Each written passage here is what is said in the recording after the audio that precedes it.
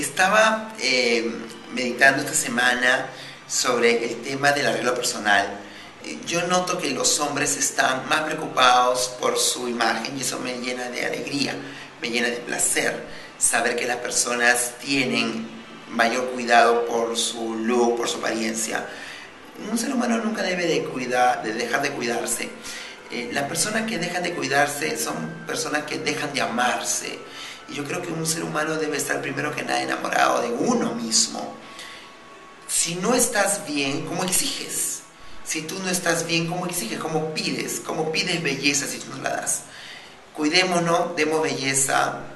Si tú sientes que de repente no tienes una cara perfecta, que no tienes un rostro perfecto, una nariz perfilada, un, la cara angulosa, una bonita piel, pues mejora tu cuerpo.